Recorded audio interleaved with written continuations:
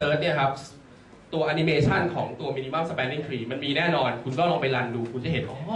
tree มันจะค่อยๆสร้างจุ๊ดๆๆๆๆต้นไม้ส่วน Kruskal ก็จะปุ๊บปุ๊บปุ๊บปุ๊บปุ๊บต่อกันหมดเลยนะครับ มีแน่นอนคุณ search ไม่เจอผมให้ต่อยสิบทีนะครับคุณก็เริ่มดูโอ้ Kruskal เริ่มยังไงนะ คุณก็เอา edge สั้นจิ๊ดจิ๊ดจิ๊ดจิ๊ดมันค่อยๆงอกมาจากหลายๆที่ครับงอกไปเรื่อย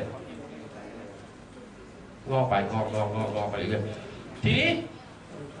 จังหวะที่คุณเลือกเอ็ดเอ็ดหนึ่งเนี่ยคูสโก้มันจะเป็นยังไงครับ สมมติคุณเลือกเอ็ดเอ็ดหนึ่งเช่น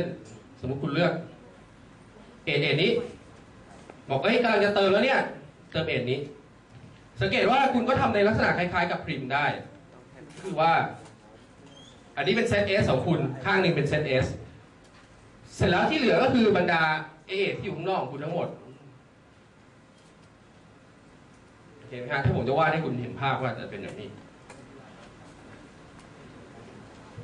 ทีแรกคุณจะเลือก A ที่มันเชื่อมระหว่าง2 component คือถ้าเกิดเรามอง step ของ Kruskal ก็คือว่าคุณค่อยๆงอก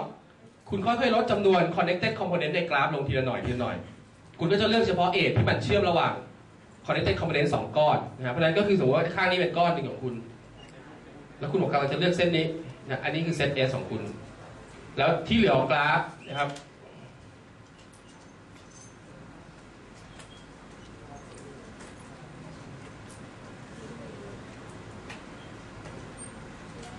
ก็เป็นอีกกลุ่มหนึ่งแต่ว่าเอทนี้มันน้อยสุดแล้วที่คุณเลือกนะฮะเพราะฉะนั้นก็รับประกันได้ว่าเอทนี้ต้องอยู่ใน minimum spanning tree แน่นอนตามกฎอันนี้นะครับ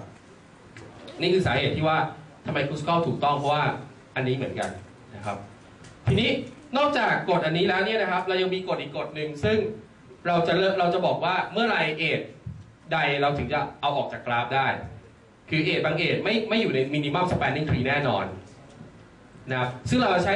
ไอ้กฎตรงนั้นเนี่ยนะครับไปพิสูจน์ว่า step ไอ้กรณีที่ลบอย่างเดียวหน้ามืดตาลายลบลบลบลบลบเนี่ยถ้าไม่ขาดเนี่ยนะครับ ก็ถูกต้องเหมือนกันนะครับอันนั้นก็จะเป็นอีกกฎหนึ่งซึ่งผมคิดว่า เดี๋ยวเรามาต่อกันวันจันทร์หน้าเออวันอังคารหน้าดีกว่าเพราะว่าถ้าถึงวันนี้ฟัดไปคุณก็คงจะอาจจะเลยขีดจำกัดตายได้นะครับ เพราะนั้นเราต้องเลี้ยงไข้คุณไว้หน่อยหนึงแล้วเราก็ทิ้งตอนท้ายไว้ตรงนี้นิดหนึ่งนะครับ ก็อย่าลืมทำการบ้านนะครับ การบ้านเราคงจะอออกไปข้อหนึ่งเพราะว่ามันอาจจะต้องใช้ตรงนั้น นะครับก็จะลดเป็นหนึ่งข้อแต่ว่าอย่าลืมว่าเราคุณมีการบ้านโปรแกรมนะครับ ก็ขอให้ราตรีสวัสดิ์สุขสวัสดีกับการทำการบ้านครับ สวัสดีครับ